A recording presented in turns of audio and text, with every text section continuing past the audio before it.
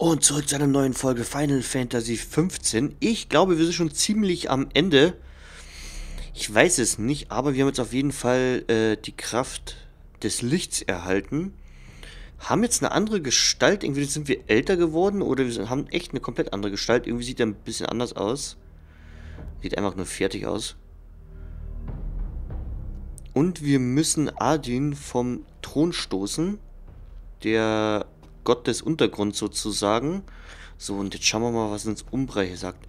Wenn euch die Folge ein bisschen gefällt, würde ich natürlich über einen Daumen nach oben, Like oder Abo freuen. Aber jetzt schauen wir uns das hier an.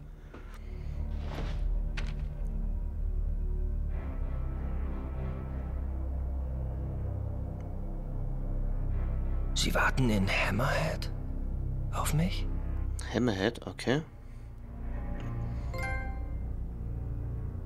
Das Schicksal des Auserwählten.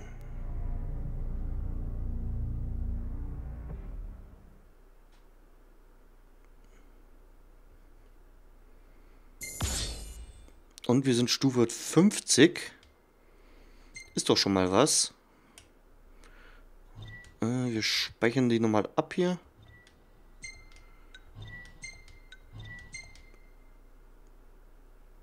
Alles klar.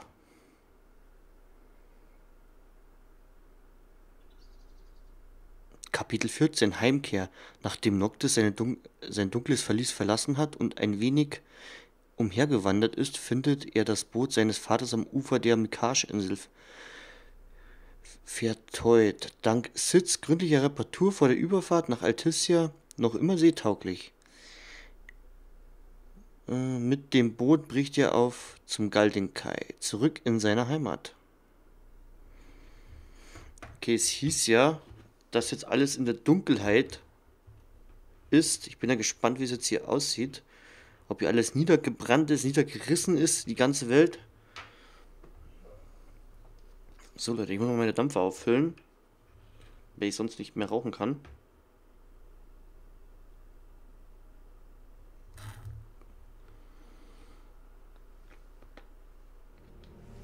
So, wir starten gleich. Er sieht auf jeden Fall viel, viel erwachsener aus jetzt. Viel, viel reifer. Vorher da aussieht wie ein kleiner Milchbubi.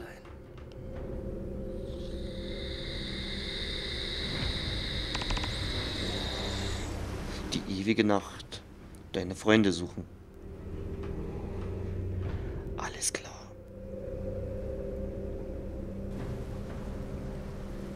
Haben wir denn eine... K oh, oh, oh, oh, oh. Ah, jetzt sind wir an dem Kai praktisch, wo wir ganz zum Anfang so eine Überfahrt machen wollten, wo es aber nicht ging.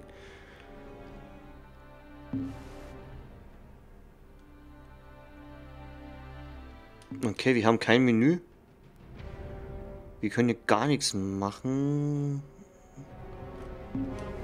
Haben wir eine Karte? Ja, wir haben eine Karte. Ein Hammerhead. Hammerhead ist hier oben. Okay, da haben wir einen ganz schön langen Weg vor uns. Boah. Und wir haben auch kein Auto oder sonstiges. Okay. Sicher. Jetzt sind sie sogar in den Städten. Alles klar, wir probieren es jetzt einfach mal, hier durchzukommen.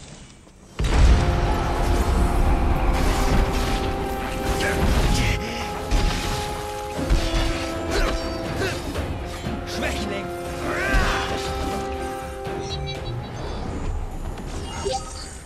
Es gibt ja viele Erfahrungspunkte. Zehn Stück gleich.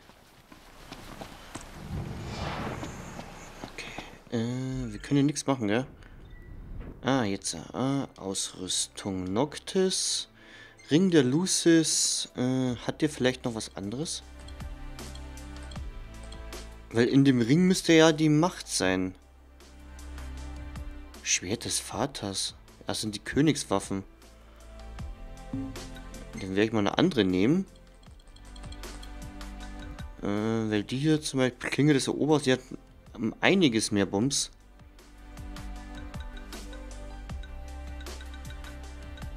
Hier hätten wir mehr Energie.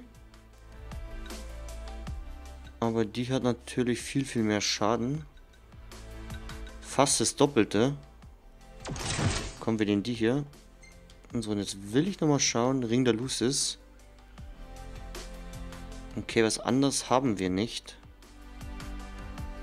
Äh, wir nehmen auf jeden Fall mal ein Feuer noch.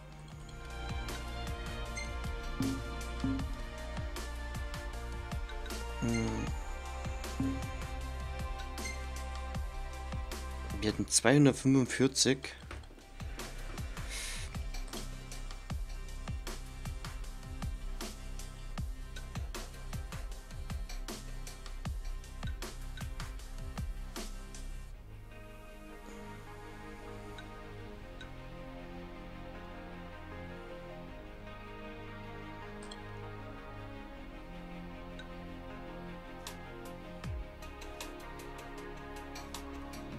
Glaube ich ist nicht schlecht. Ein bisschen mehr Heilung.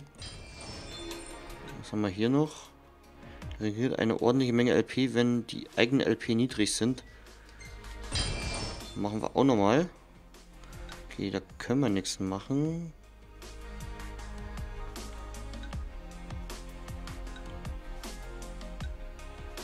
Ignis.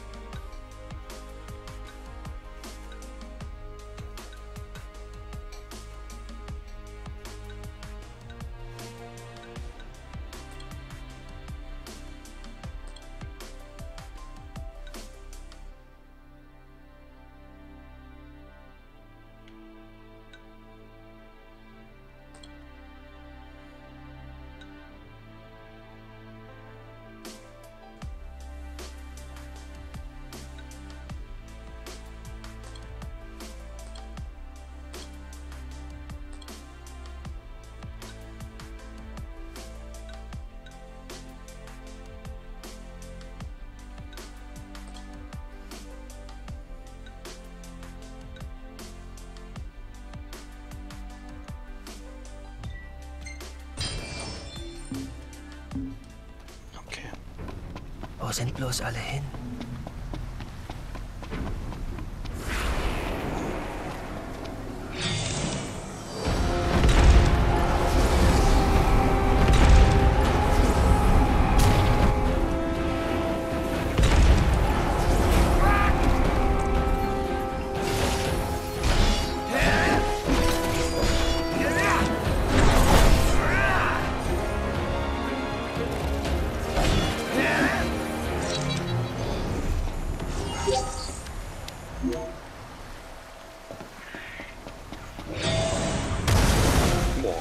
Renne jetzt einfach mal weiter.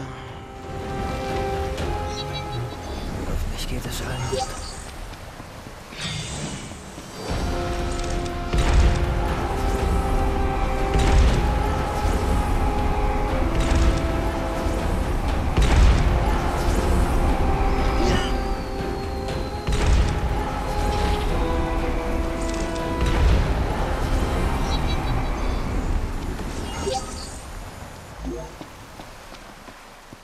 gibt es hier irgendwie ein Auto oder sowas, dass ich da hochfahren kann. Das ist ja Wahnsinn.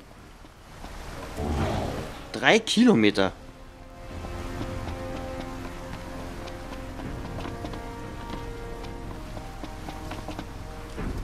Komm, dann gehen wir hier ein bisschen entlang. Schauen wir mal, dass wir den Hauptstraßen ein bisschen entgehen. Alter. Die lassen wir einfach mal.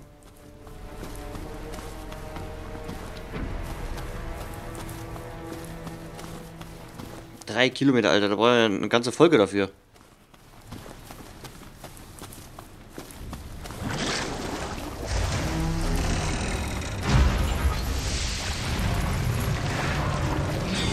Kann ich ihm Schokobo rufen? Ne, kann ich nicht. Das wäre natürlich zu geil gewesen, wenn ich Schokobo rufen hätte können. Erstmal schauen, wie wir hier rauskommen.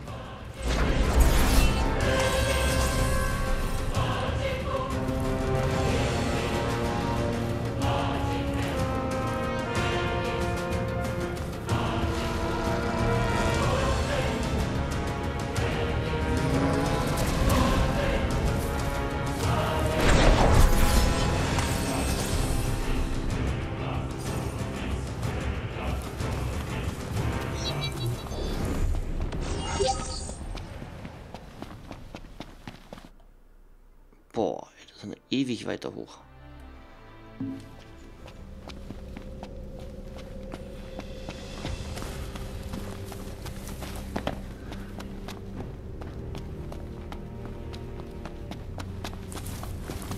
Schön, wenn ich hier überhaupt nichts sehe.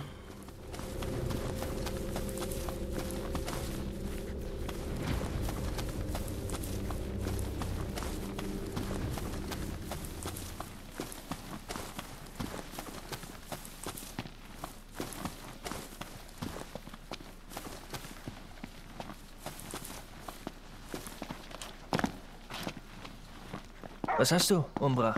Da kommt was.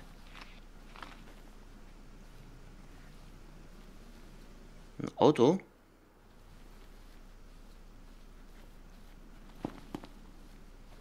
Ein Auto? Fahren wir über den Haufen. Kann ich mit dem mitfahren? Einmal Hammerhead, bitte. Majestät?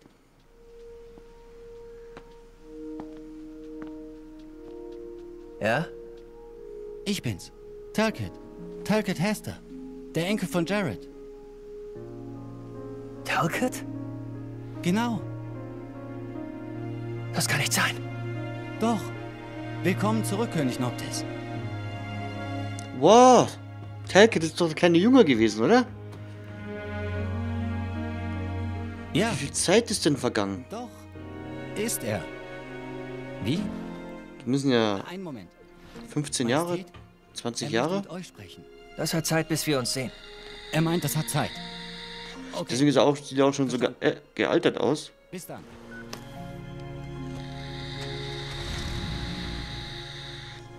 Alles klar. Ich bin so froh, dass ihr zurück seid. Euer Majestät. Lass die Förmlichkeiten. Wir sind doch Freunde. Stimmt. Auch wenn wir uns zehn Jahre nicht gesehen haben. Zehn Jahre, okay. Zehn Jahre. Die anderen können es sicher auch gar nicht glauben. Wo sind eigentlich alle? Normalerweise in Lestalum. Aber hin und wieder auch in Hammerhead. Ach, Ja. Schließlich ist die Werkstatt immer noch dort. Manchmal geben sie Sidney Geleitschutz oder bringen ihr Ersatzteile. Sowas halt. verstehe. Ach, Das wird dann Wiedersehen werden. sind heute alle in der Nähe von Hammerhead. Darum treffen wir uns dort mit ihnen. An dem Tag, als du verschwunden bist, ist die ewige Nacht über Eos eingebrochen. Dank des Meteors gibt es in Lestalum noch Licht. Alle Menschen drängen sich dort auf engstem Raum. Und andere Orte? Die sind so oft von Sichern angegriffen worden, bis irgendwann nichts als Trümmer übrig waren. Eigentlich wird selbst Hammerhead mittlerweile kaum noch als Werkstatt genutzt. Es ist eher zum Stützpunkt für Jäger geworden. Im Grunde ein Wunder, dass dort überhaupt noch Betrieb herrscht. Alle anderen Läden haben dicht gemacht. Krass. Weil die großen Viecher hier, Viecher. Ja, keine Sorge. Aber er ist noch mürrischer als früher, weil er in letzter Zeit ziemlich oft krank ist. Ich glaube, er hat den Umzug nach Lestalum nicht verkraftet. Die Leute wollten zwar, dass er die Werkstatt ebenfalls verlegt, aber Sid hat einen riesen Fass aufgemacht. Meinte, dass es keine gewöhnliche Werkstatt sei und es in Lestalum nicht dasselbe wäre. Ja, das klingt ganz nach ihm. Zum Glück kommt Sidney nach ihrem Opa. Sie hat sich bereit erklärt, die Werkstatt weiterzuführen. Und Sid, tja, dessen einzige Freude ist mittlerweile das gute Essen, das Ignis ihm manchmal vorbeibringt. Dass die Siecher auf einmal überall waren, hat natürlich zahlreiche Opfer gefordert. General Kor und Iris leiten daher die Organisation von koordinierten Jagdoperationen. Gladio, Ignis und Prompto helfen allen, wo sie nur können. Prompto ist meistens mit der Verteidigung von Hammerhead beschäftigt. Leider hat Sidney so viel zu tun, dass sie kaum Zeit für ihn hat. Und Ignis? Der kämpft auch mit. Anfangs wollten ihn die anderen davon abhalten. Dann haben sie allerdings eingesehen, dass bei der Dunkelheit eh niemand was sehen kann. Er ist immer noch blind. Ja, leider. Aber er kommt sehr gut alleine klar. Okay. Keine Sorge. Weißt du, Gladio, Prompto und Ignis sind normalerweise überhaupt nicht mehr zusammenzusehen. Sie kämpfen alle an eigenen Fronten. Aber hin und wieder arbeiten sie auch zusammen. Ach so.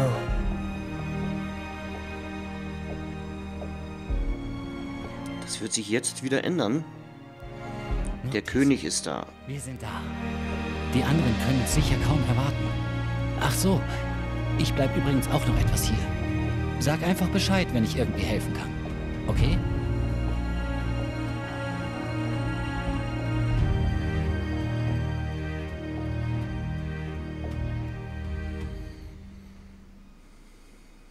Hammerhead. Okay, wir sind angekommen. Zehn Jahre später.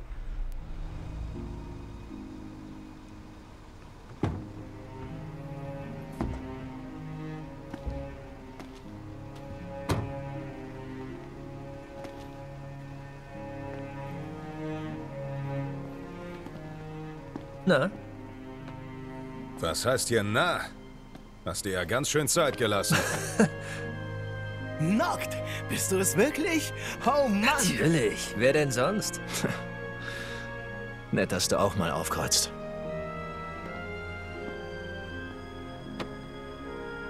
Ging nicht schneller. Es gibt viel zu bereden. Gehen wir rein.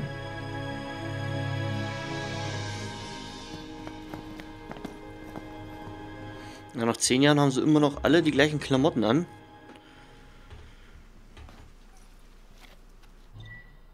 Wenn du Hammerhead verlässt, beginnt die entscheidende Schlacht. Bereite dich gut darauf vor. Okay. Da muss ich wohl ein bisschen einkaufen hier.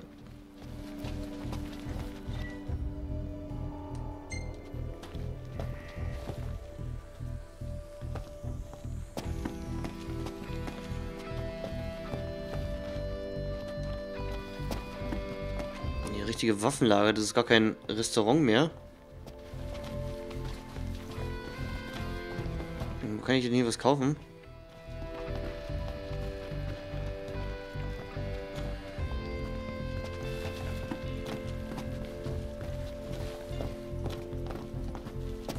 Gibt's einen Waffenhändler?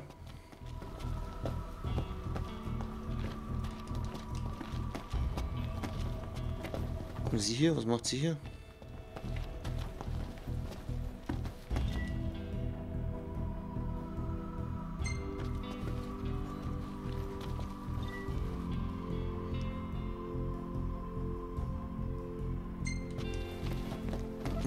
Okay, hier scheint es nichts zu geben. Hm, Gibt's hier? Ah, hier ist ein Händler. Okay, reden wir doch mal mit ihm. Was für dich dabei? So.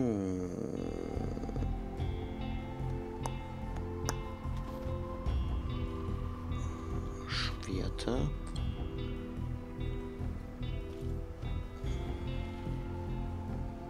Hyperion.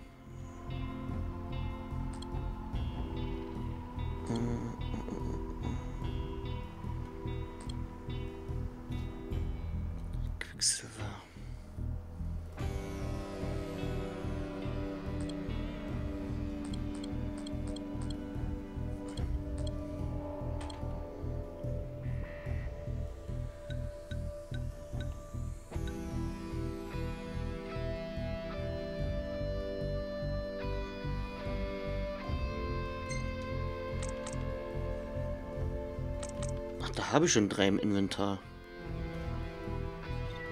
Hm, Nimm mal einmal mit, bitte.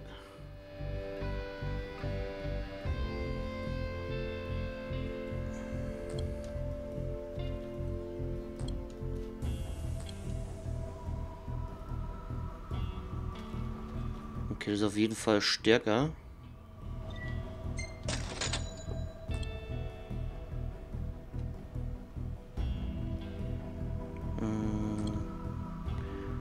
Der hat schon Hyperion. Aber ich nehme es trotzdem einmal für mich noch mit.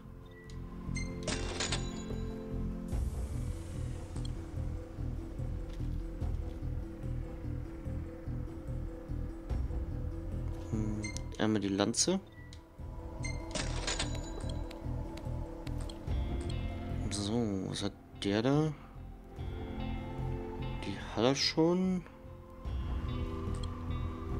Quecksilber, Prompto, das hat er schon.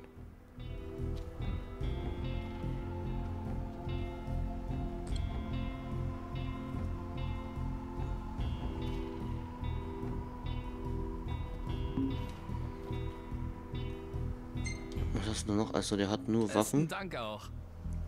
Okay, dann rüsten wir doch mal gleich aus. Äh, Ausrüstung. Noctis. Einmal bitte diesen hier.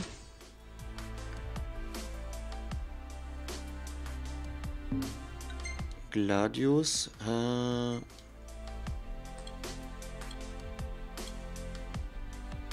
dann geben wir auf jeden Fall mal Feuerzauber noch. Ignis. Kriegt die Schimmerlanze. Da ist er schon gut ausgerüstet. Und Prompto Quecksilber Wirbelsäge.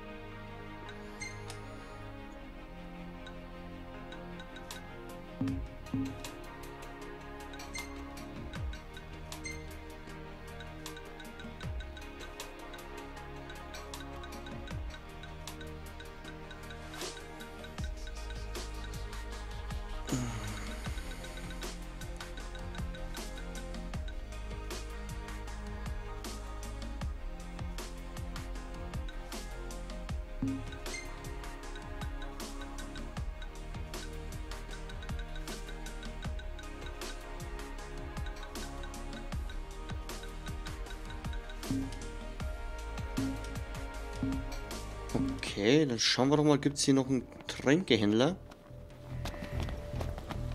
Ein paar Tränke oder sowas. Tagchen.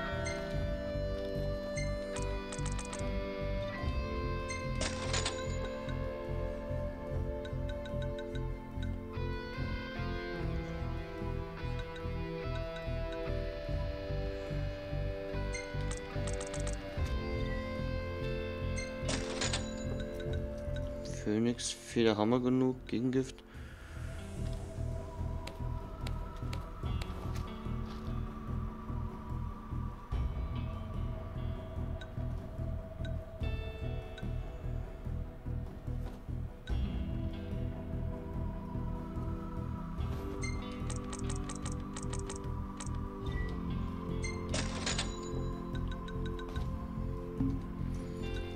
Die Firma Okay. dankt.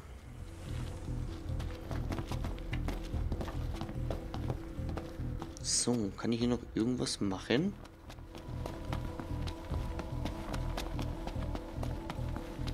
Okay, da hinten geht's raus. Ah, da kann man weiter nicht zu Fuß hingehen, oder?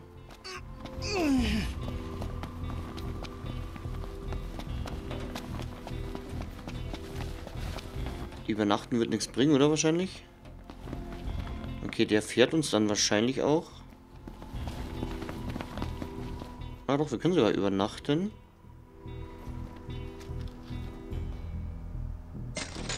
Und wir könnten auch noch mal zurückgehen.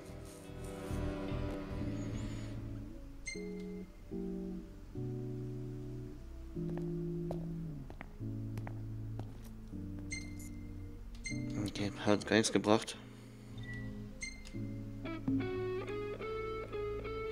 Gut, Leute, dann würde ich sagen, machen wir an der Stelle einen Cut und schauen uns in der nächsten Folge an, wie es weitergeht. Da werden wir auf jeden Fall. Typisch Gladio. Unverändert. dann auf Weg in die ewige Nacht. Ganz der Alte. Also werden wir uns in die ewige Nacht begeben durchs Haupttor nach Insomnia. Vielleicht. Wenn das alles hier vorbei ist. Schließlich kann ich mich nicht ruhigen Gewissens in gefährliche Kämpfe stürzen, wenn zu Hause eine besorgte Frau auf mich wartet. Ah ja, Ah, das sagst du den Frauen also. galante Masche. Das ist keine Masche. Das meine ich ernst. Okay, Leute, wenn es euch ein bisschen gefallen, würde ich mich sehr, sehr über einen Daumen nach oben freuen, einen Kommentar oder auch ein Abo, wie ihr wollt. Genau, dann würde ich sagen, sehen wir uns in der nächsten Folge wieder. Schaltet ein. Ich glaube, es sind nicht mehr viele Folgen, außer wir schaffen die Bosse dann nicht oder so. Keine Ahnung, was noch überhaupt am Bosse kommen. Aber ich denke mal, der Adin wird auf jeden Fall kommen. Und was dazwischen noch kommt, das sehen wir in den nächsten Folgen. Bleibt auf jeden Fall dran. Bis dahin, ciao, ciao. Euer Andi.